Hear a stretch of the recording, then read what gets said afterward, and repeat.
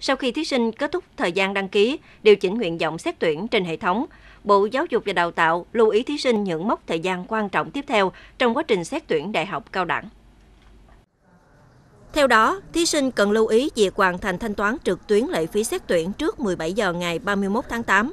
Từ ngày 1 tháng 9 đến ngày 17 tháng 9, các cơ sở đào tạo tải dữ liệu từ hệ thống để xét tuyển và phối hợp xử lý nguyện vọng, lọc ảo. Trước 17 giờ ngày 17 tháng 9, các cơ sở đào tạo công bố kết quả trúng tuyển đợt 1. Trước 17 giờ ngày 30 tháng 9, các thí sinh trúng tuyển tiến hành xác nhận nhập học trực tuyến đợt 1 trên hệ thống. Từ tháng 10 đến tháng 12, các cơ sở đào tạo có thể tổ chức tuyển sinh các đợt bổ sung. Các thí sinh có nhu cầu xét tuyển các đợt bổ sung vào các cơ sở đào tạo sẽ thực hiện theo đề án tuyển sinh được đăng tải trên trang thông tin tuyển sinh của các cơ sở đào tạo.